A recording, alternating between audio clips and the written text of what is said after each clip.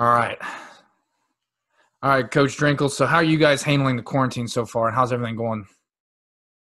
Along so far. Sorry, you cut out for a sec. We're we're plugging along. You know, we're uh, all it happened when we were on spring break, so all the kids are were spread out, and most of the coaches are as well. So, um, we're we're an adapt quick uh, operation here, pretty quick. So, uh, you know, we're doing same thing as everybody else. We're we're trying to keep all the day to day operations as as close to normal as possible. So from a recruiting standpoint, really the only thing we've been that's hampered us a little bit is obviously spring football, and then us on the road or the kids coming to campus. But other than that, pretty much business as usual. Right, you mentioned you guys are missing spring ball. So how are you guys kind of making that up? Um, are you guys meeting and all that? How's that going? Yeah, we're meeting uh, as an offense uh, pretty extensively, getting into game planning. You know, we had quite a few staff changes after this past season. Um, so we're all just getting on the same page as far as like game simulations and okay. and scheme and all that stuff, game planning, um, and then meeting with the players as much as we're allowed to. But then that stops obviously this week because the kids uh, finals prep and things along those lines. Okay, that's good stuff. Well, hopefully we have a we have a 2020 season. I think we'll, but let's let's hope that happens. Um, I'll get into the next question. This is America. We're having football. It's going I down. 100%. There's no way we're not having football. Um, so, Coach, what do you believe on offense, and what's your philosophy? And if you want, you can hit on how who helped influence that philosophy, and um, maybe go into that a little bit. Yeah. So, just philosophy wise, I'm very different.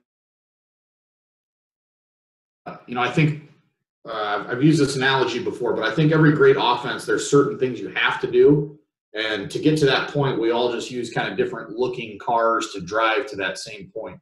So, uh, you know, like Coach Monken here and myself, we believe in the same fundamental things, but the offenses we've used in our careers to get there are completely yeah separate looking. Like I have never even went under center in like 11 years, I think it was before this past year here. So, just uh, a couple things I think you have to do offensively, things that I just believe in my bones um, I think that's a that's a culture thing. It comes down to tough situations when you're playing in postseason or playing late in the season. The weather is usually not the best, at least up in the north. So uh, in the Midwest, so you're, going to have to at some point run it to win it. Um, I think people lose sight of the fact how valuable possession of the ball is. Just, I mean, I say it every year when I talk to the kids, but it's like you play to win. You win by having more points than the opponent. The only way you can obtain points is possession of the ball. Yep. So in theory, there's just, I mean, there's nothing. Every time I talk on that, the older I get, the older I sound.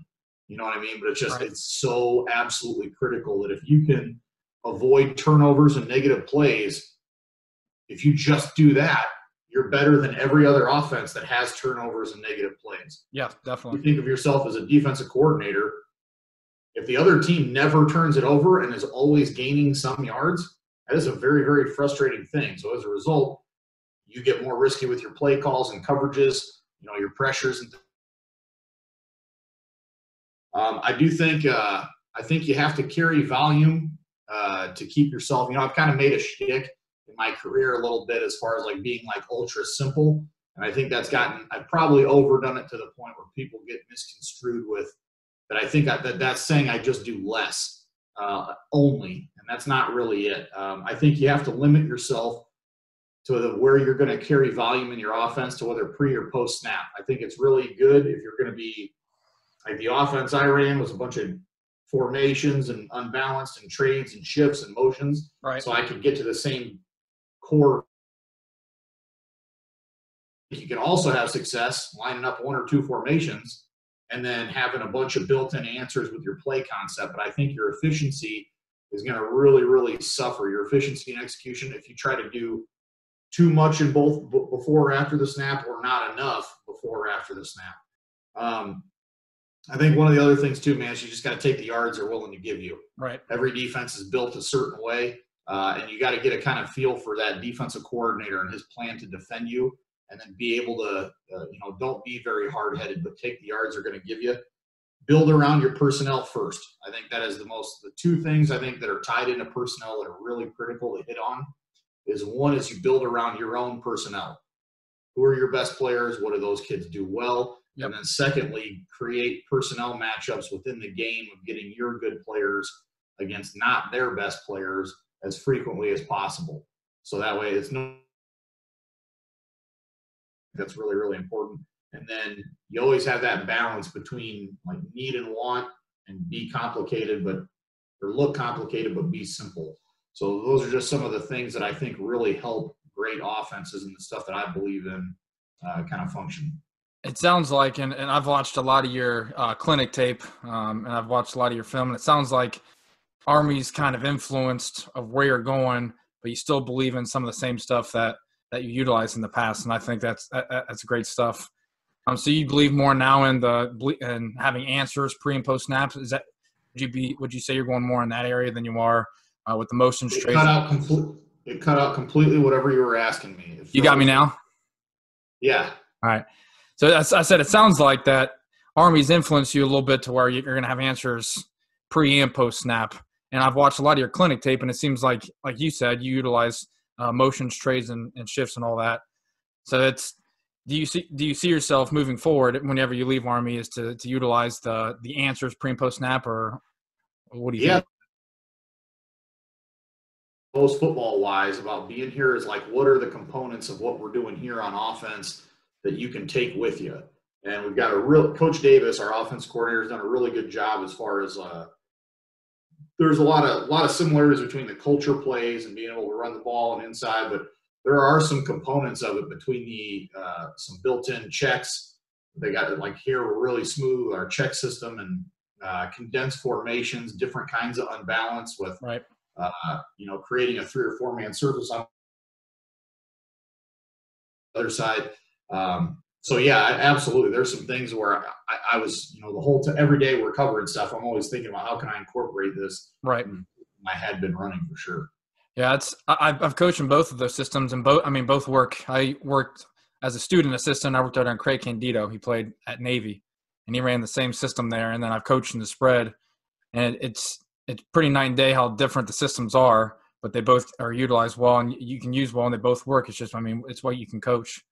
So just, it'd be pretty cool to see you utilize both and be able to marry both can um, teach in the near future.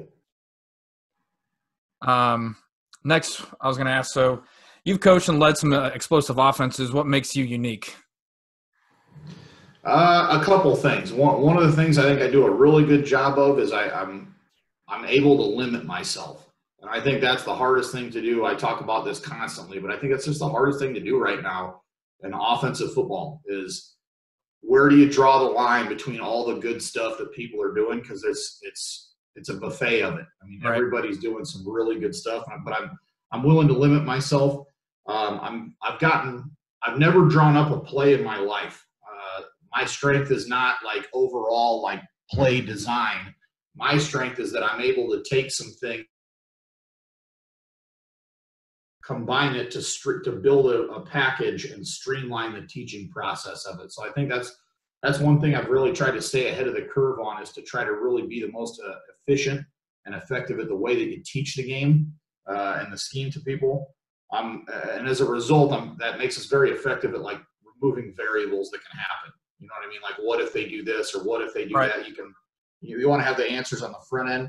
Um, I think one thing that's that's helped out a lot, uh, you know, offensively with the stuff I've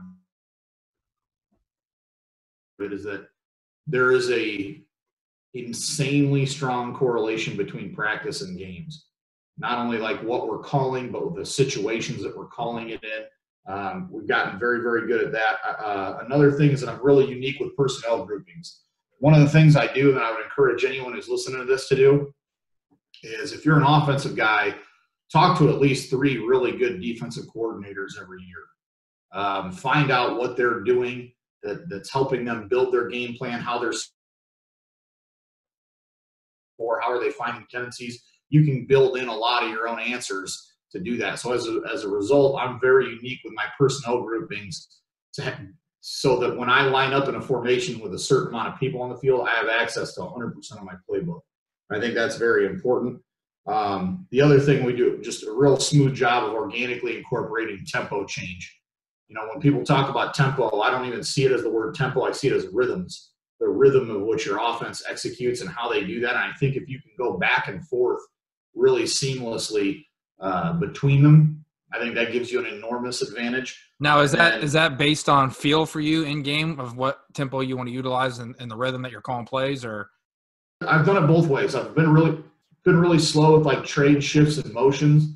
And I've gone gone a couple another year where I went nothing but like as fast, breakneck fast as you can. And what I've kind of settled on is that I think it's like a really good pitcher. If you if you only do one thing all the time, somebody the hitter catches up at some point. Yeah, yeah. Um, so if you have variety, so I, I think of it like this: is that I think you can carry three kinds of ways to change tempos throughout.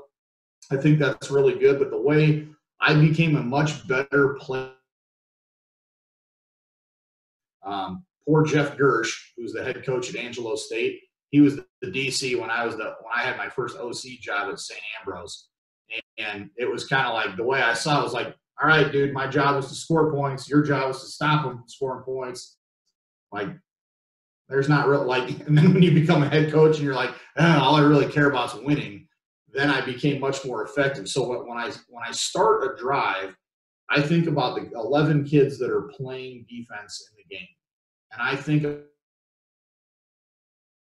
on their body while it gives me an advantage. So when I start a series, I want to make sure that my defense has time to meet and hang out and talk to each other and see the trainer and get ready to go. So as a result, I'm going to have to go slower. Well, if I'm going to go slower, that means I need the kids that are playing defense, I want to attack their brains. So I'm going to do a bunch of formation things, formation of the boundary, trade shifts, motions. That's good. Shifts, all kind, all kinds of stuff. But at some point during the course of the series, by the end of it, I want to attack a transition to get out, make those guys have to go faster and run number to number. So there's some of those things that I, I carry, like I guess inherently as I'm calling the game, that I put a lot of thought into. Um, and then the last thing is that, uh, you know, I think one of the things I do a really good job of, or that I have in this in the past, is just balancing what you need to do to win versus what your players can actually execute. You know, there's times where it's like, hey, yeah, you know, inside, I got all these inside zone plays. So there's some of that stuff of like being able to limit yourself that even though I've got all this stuff on the call sheet and it all looks great, man, there's there's times I can do less to get more. Right. Um, I know you talked a little bit um, about in your install um, before we get into your base, your base run and pass and RPO and all that, um, what install processes work uh, best for you? Um, and what's it look like? Maybe, I mean, does it take you two, three days? I know it takes guys seven days. Um, how's yours look?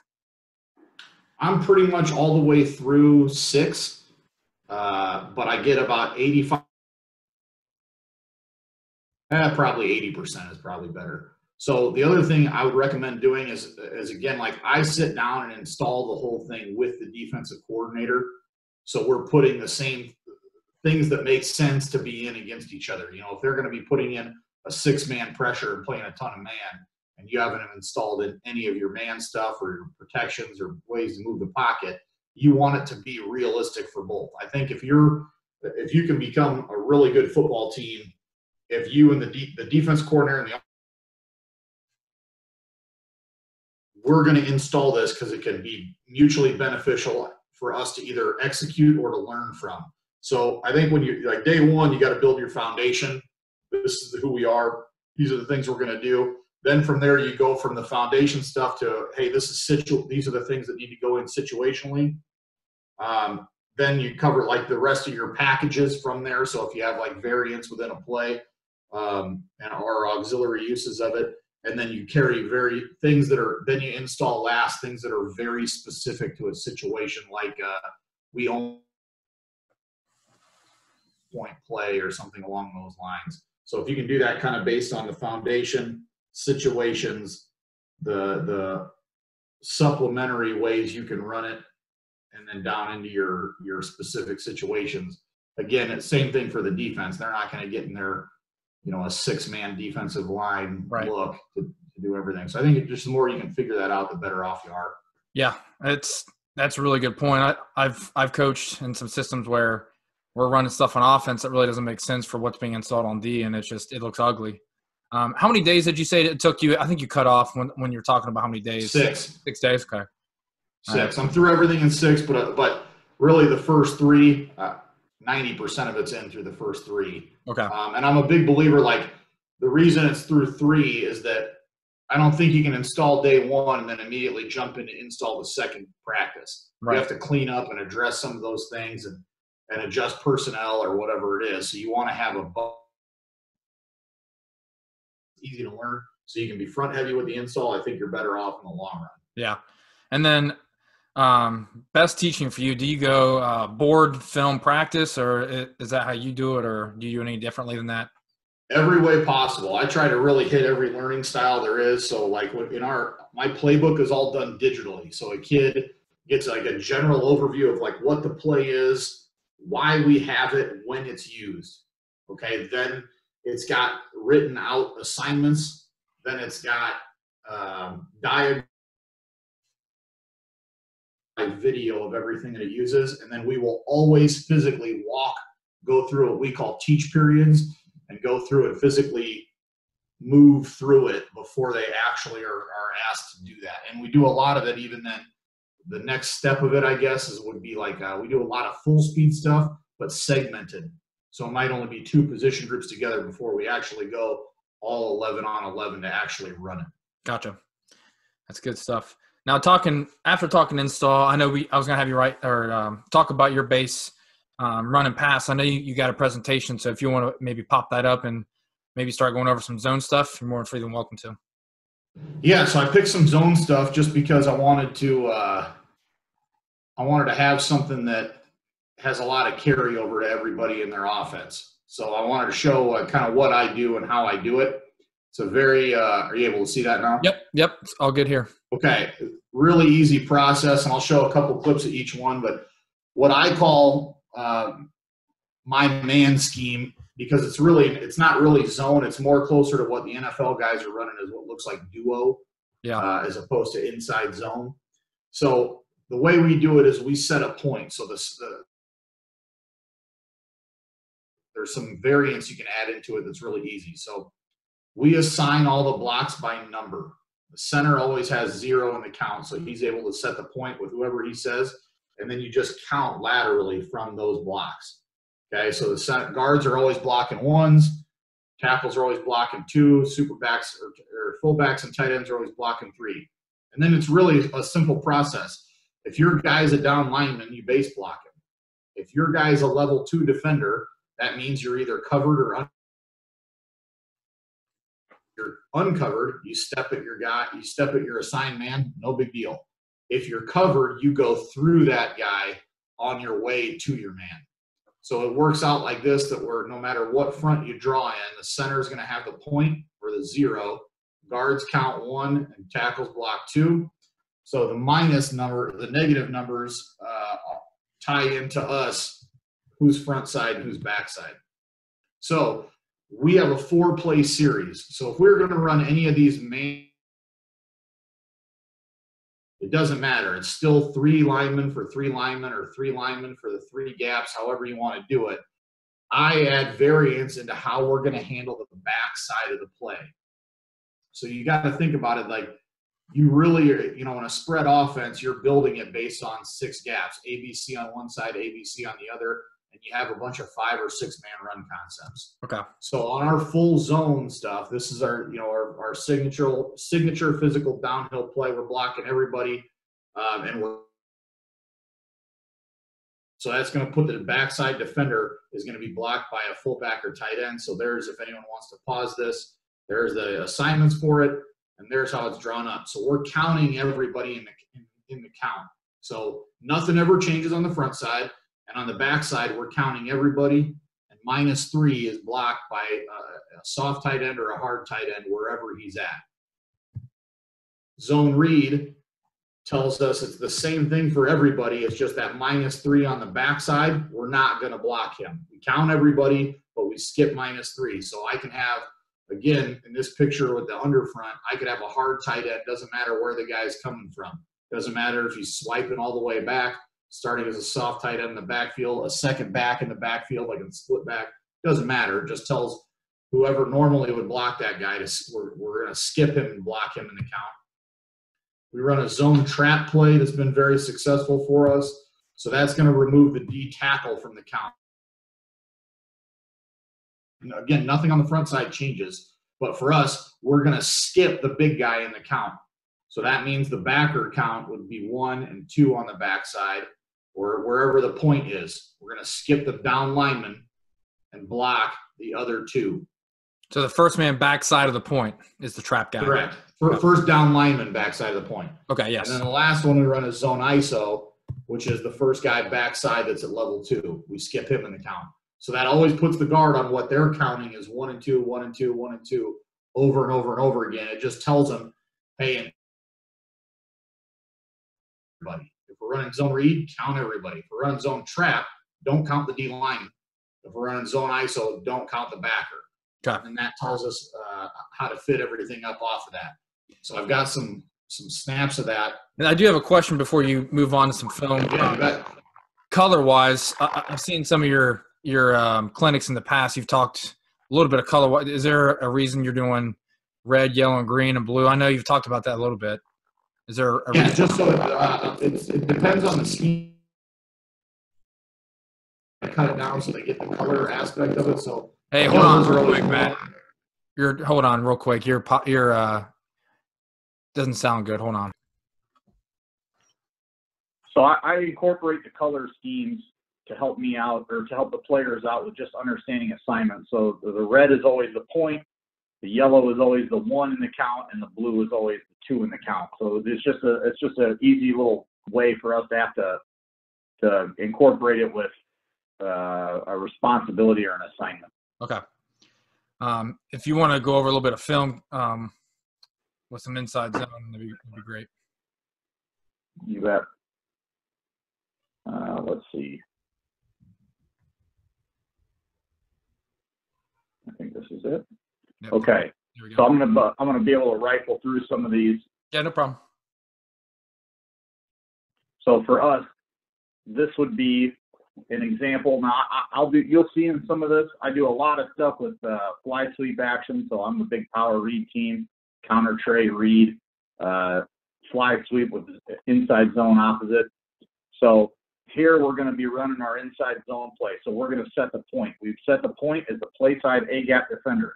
So that gives us assignments across the board. And the thing I, one of the things I like the most about it is that we don't ever have to say a word. Okay, we don't have to make a series where the play is going. Um, so it's a very simple process. So if your guy's a down lineman, you're going to step at and base block. If your guy's a level two, I'm covered, so I'm going to go through and up. I'm going to go through and up because I'm covered. So it's an easy look uh, at those, those, that set of blocks. Now we coach the, sh- the heck out of with the back is uh, the back doesn't move till the quarterback catches the snap. He's going to read the first down lineman call side of the center. That's his read. His track is the call side leg of the center. And his job is to press until he hits heel line of the O line and then bend. So we talk a lot about um, uh, about making those cuts.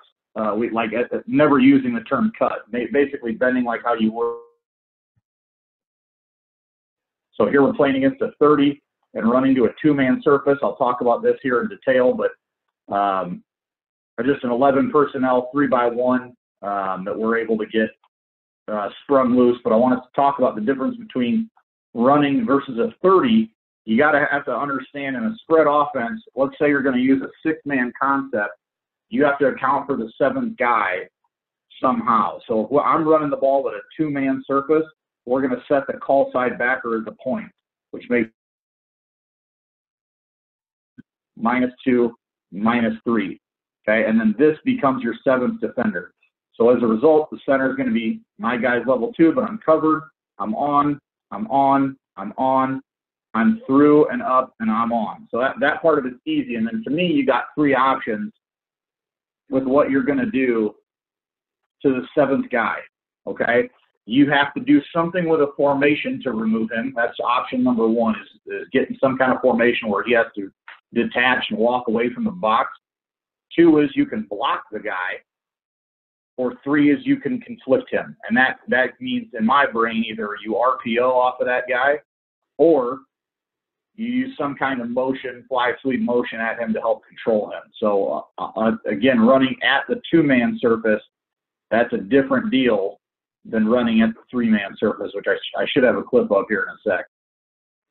This is just a standard uh, four-man front, so we're going to set the nose to the. You can see it's a, it's it's it's a very very vertical downhill play. Okay, here, here's running it. This is an 11 personnel two by two, and this is a great look at running it at a three-man surface. So when you're running it at a three-man surface, we're able to, you can do it one of two ways, either add a tag to it or change the name of the player or whatever. But we now want to set the nose as the point. So what that's doing is it's essentially saying we can account for four front side defenders instead of three. So now the center would take this, the guard has one, tackle has two, tight end has three, and backside minus one, backside minus two. So this guard right here, I can help with that four eye on my way to that backer. I can take the two. I'm out on the, the uh, number three in the count. I can help on the two eye or the four eye, and I can help and I, I base block. So what that does is when you have the, the variety, and then again the seventh defender is that one that's out there. He's late. Is that allows you to really, really give those three, four tight front teams a hard time with their fits when they want to rock back and when they don't, because if they're keying guards or keying backfield mesh, which way the quarterback opens, you can put those guys in a bind in a in a in a hurry. The other thing I like about changing up is like right here, the center's one on one, but the center's blocking the run key. So all he has to do is step and chase hand, and that clearly makes the decision for the back. It makes it a very, very easy process for him. that's a that's a decent look at like all the uh, the inside zone or the duo stuff for us as far as how the count system works. Let me find a zone read in here.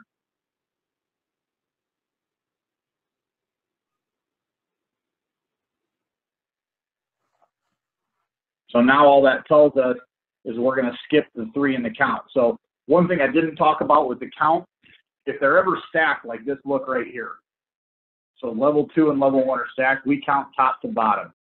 Okay, so that would be the point. That would be one. That would be two. That would be minus one. So I haven't seen anything. I'm on. I'm through on my way. Base, base, base, up. There's three, so we skip him and block most dangerous man. So you can tell, like obviously that H back, it doesn't matter if he's actually attached or a soft tight end or was a second back coming from the backfield. I got a question for you, Coach, in this in this scheme here. So you talked about when they're stack, when they're stack play side. Why do you guys identify the second level defender? Top to bottom. Yeah. Why do you why do you guys do that? Otherwise, like just because one is that the level two guy can change really really easily, so by counting him on the backside, it, it forces you to let, let's say we are running it the other direction because you're running the same problem. So let's say we want to run the inside zone this way. We've set him as a point, him as one, him as two. On the backside, we didn't want we don't want to set him as one and him as two because then that combo is going to be screwed up and they'll hang on to it longer. Yeah. So if we set that as that's much more likely to happen, which I can out and go through and up and stay. So it just it, it fits the natural flow of the play a lot easier. That makes sense. Okay. But uh, that stack stuff happens all the time. So like right here, you're going to see it. The other thing about using the number system is it, it's really easy to pass off line stunts in games like this because you can just hammer and wall back.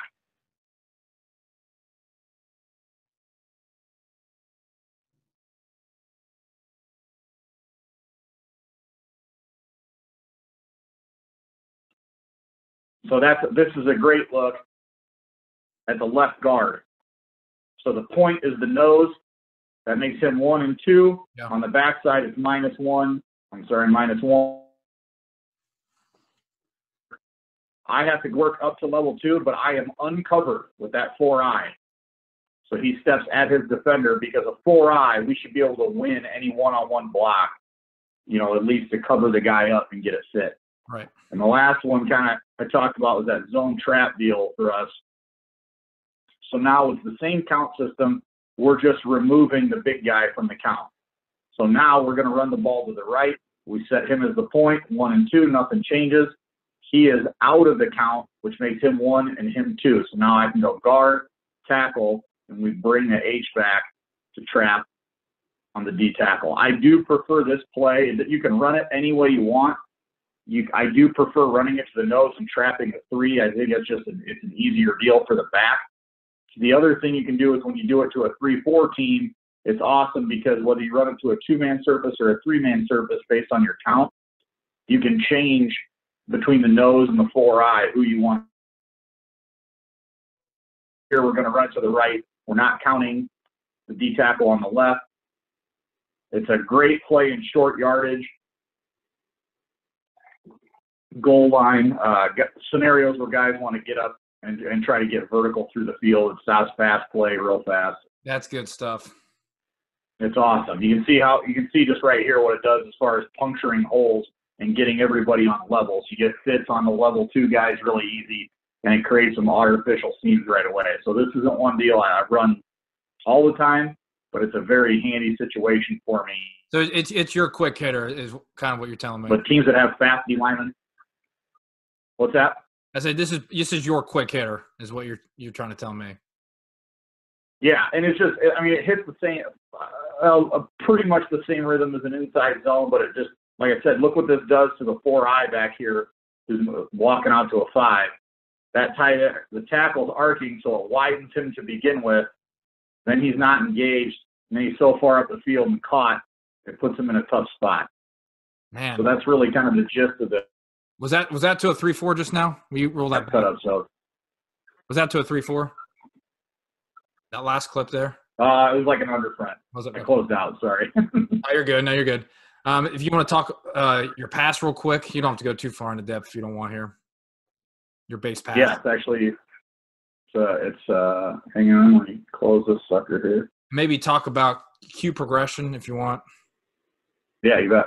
That's a lot of guys are looking for that. Am I sharing this right now? Nope, I do not see it. I see okay, it now. Yep, there you go. Okay, I'll buzz through this quick. You're good. Okay. So, um, I have a very unique drop back passing system. Uh, it's probably high school teams, um, but it's very versatile for what we do because it's a good fit. So I teach everything as two by one concept. So I'm a big two back team, and even when I'm in detached, like what looks like four wide or or 11 personnel, I, I still always count two positions on the offense as backs. So as a result, I'm, everything I do is two by one. And then our backs are never part of the concept. So I have X, Y, Z that are true receivers. And the progression I use is all color coded. So I'm going to talk about our spacing concept, which is all purpose. I carry this into every single game, no matter what. Um, and I don't know if we're going to talk about game planning later or not, but the, the I carry this in every single week. Okay, so what this is is there's, a, there's so I teach everything as a two by one.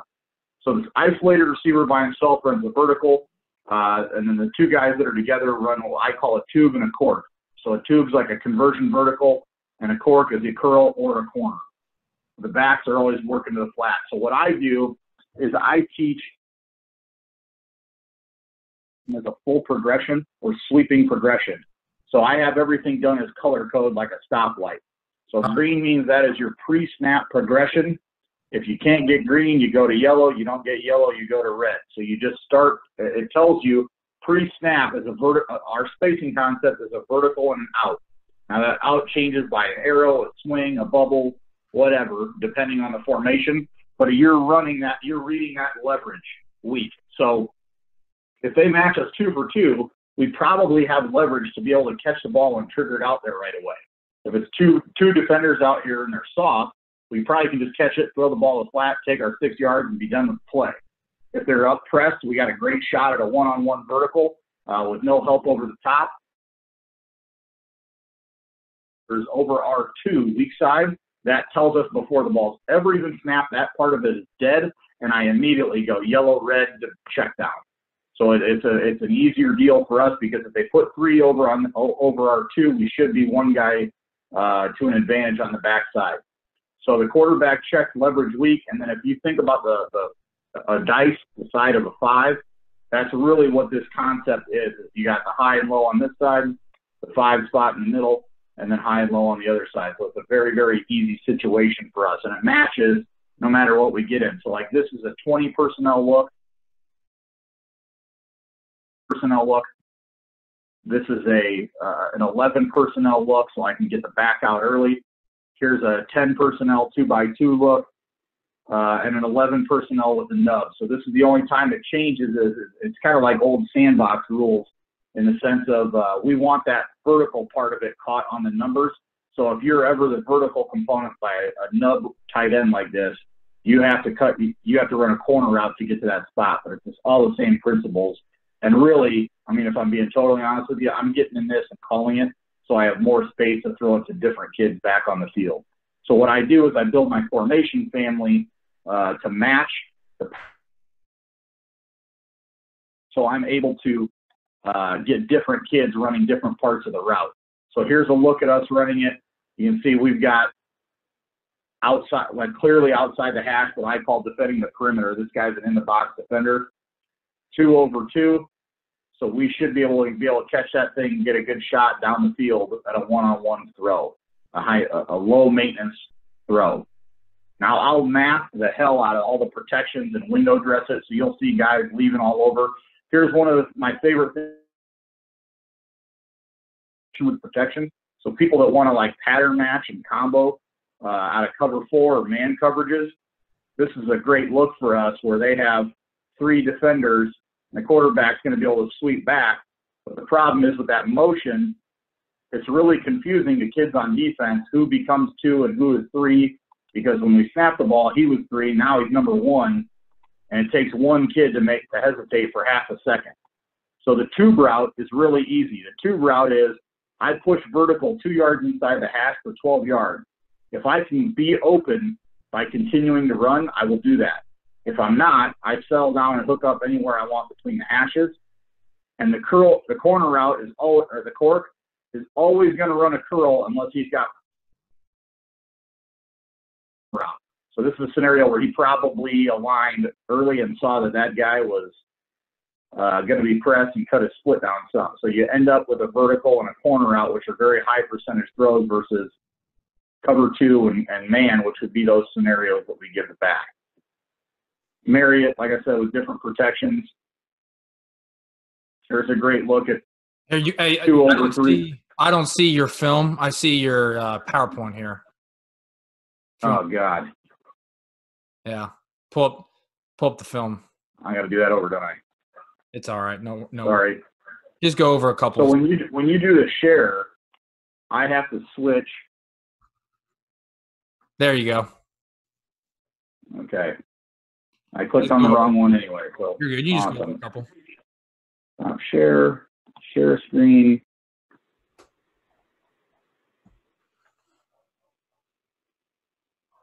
I think it's got to be that one, right? There it is. Okay. Sorry. No, you're good. You got it now? Yep, all good here. Okay, awesome. So here's a look of us running this out of three by one, where we don't count the in the box defender. So they put two over our two.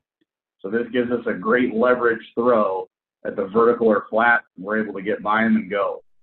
So again, a, a low maintenance, low risk throw with a good pre-snap read this is what I, uh, I mentioned different protection, so I'm able to get the back out.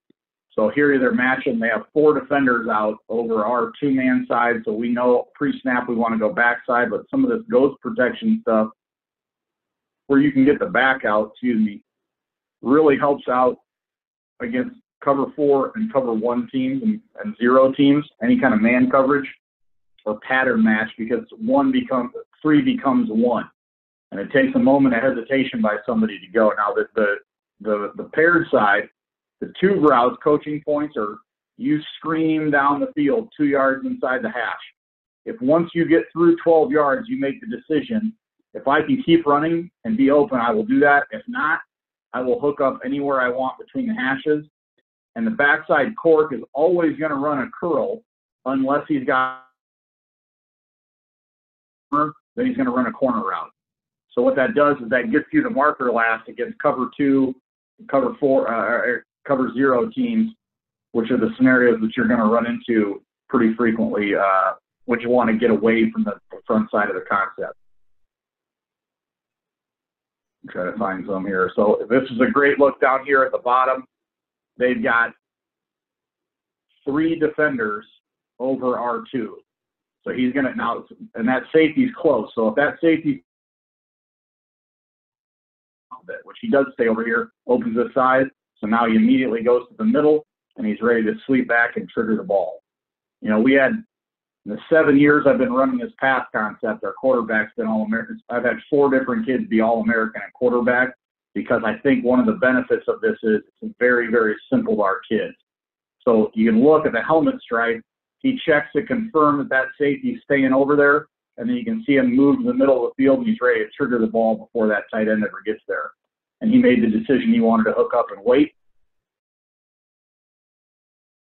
It's a vertical ball. So here, here's a great look pre-snap. They put two over two. We get jammed up and don't get a great release, so he immediately comes to the middle of the field. And there's no help over the top, so you're able to give a, a man beater and a wiggle. You can, you can see the quarterback check, saw the jam, and immediately comes back to the middle. Uh, I'm trying to find him where he sweeps sweeps all the way back here.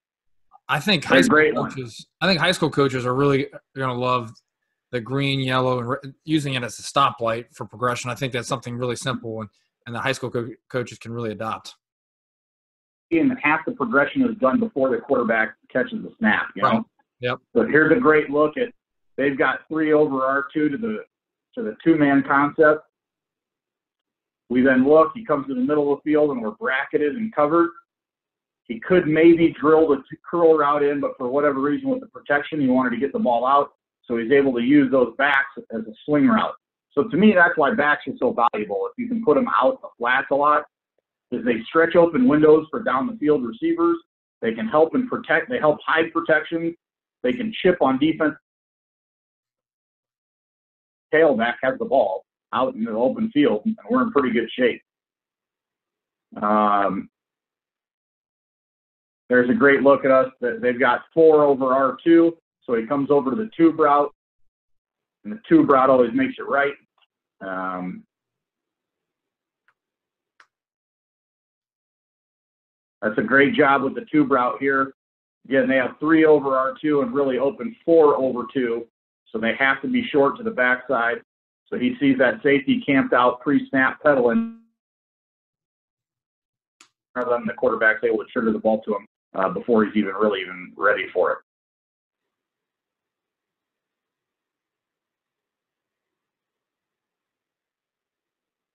Great look at a, a vertical route covered two by two. I need to find one where we sweep all the way back here. Give me. So here they match an open three by three. We sweep back. There's a great look at it. So this is how the full sweeping progression works. He knows pre-snap. He doesn't even have to look over here. He's eyeballing the tight end, and the tight end is bracketed behind and above. So he then takes the curl around and drives that in. And again, you can see like it's not a very complex read and it's not a very complex throw.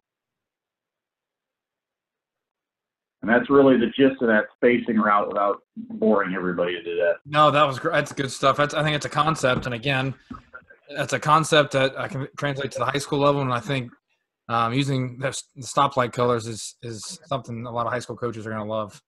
Um, and then going off, yeah, no doubt going off of that, maybe as we finish here, talk about what do you look for in film when you when you're breaking down a defense? Um, maybe how do you play in red zone, and then uh, maybe some in-game adjustments, and that's what we'll finish on today. Yeah, you bet. Um, am I sharing anything? Nope. Okay. So, um, in regards to game planning and red zone. There's a couple things that we uh, that I, I think I I do that are very very unique that are very helpful. So I think week to week you want to have as much play carryover as possible. So that way, if you if you can teach conceptually, it really doesn't matter what you're going to get scheme wise. Just because someone's seen something on film from you, uh, or that you've seen it from them, doesn't necessarily mean that's what you're going to get during the course of the game. So if you can have as much, figure out a way to get as much carryover as possible, I think that's huge. So I think what you want to do is you carry the same, a lot of the same plays, but you get them into the best looks.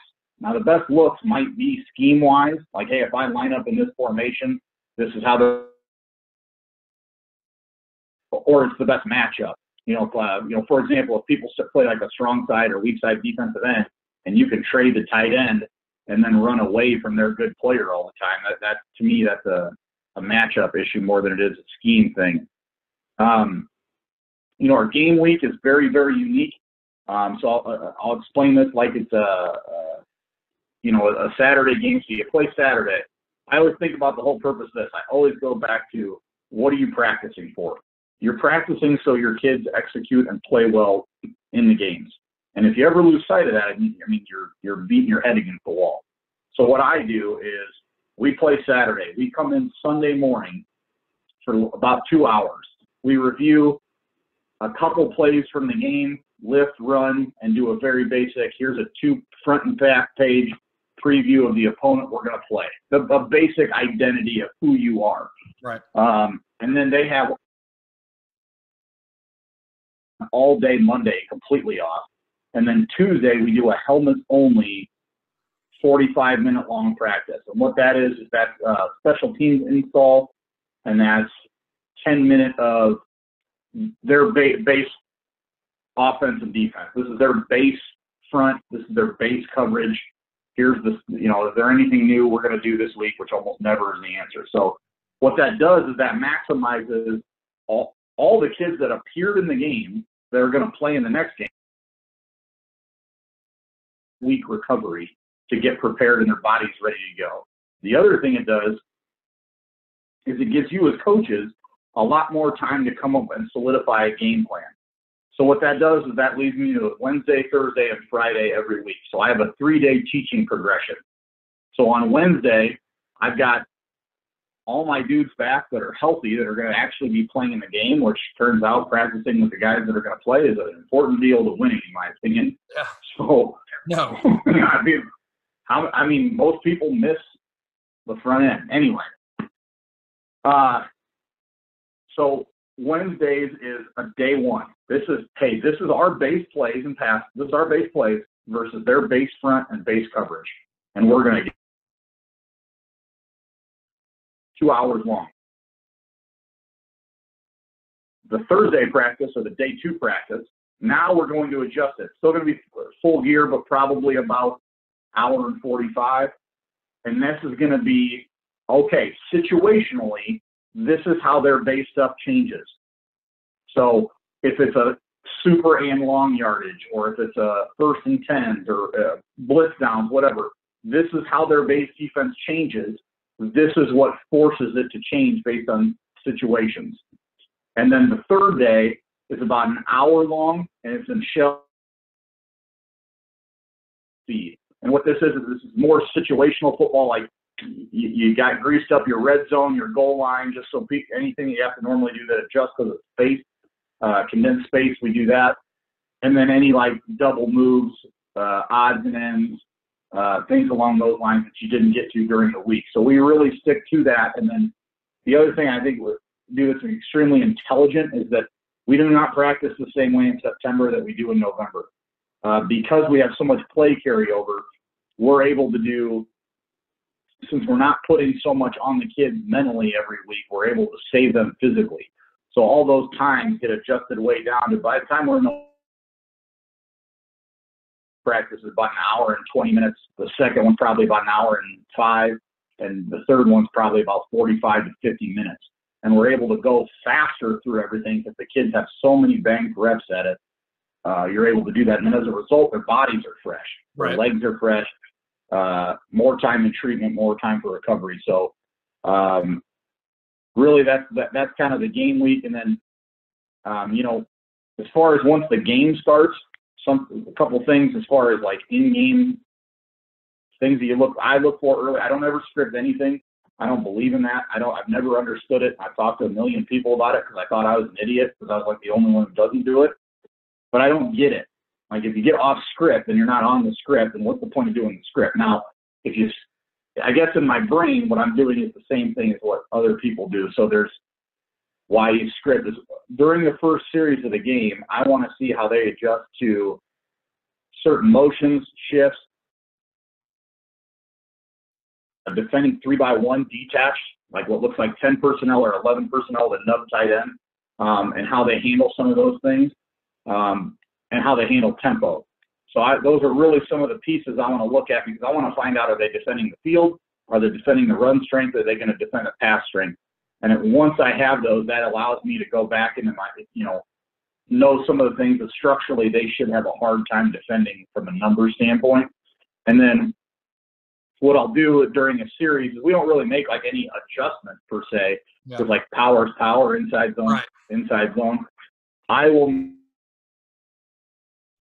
or during a series, I'll tell someone on a headset, hey, jot, you know, like the guy in the box usually, jot this down and remind me about this either next series or remind me about this on the next third and short or remind me about this in the red zone. So we kind of just put in reminders of things that we're able to discuss either during a series or, or when the defense is on the field of, hey, remind me, write down the scenario the next time we're in this scenario, which is either a next series down a distance or, or goal line red zone situation. So that's really as far as the in-game stuff. And then the other thing that I just think a lot of coaches,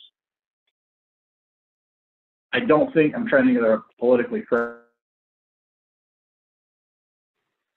coaches, I think a lot of times drastically underestimate how much positivity can do.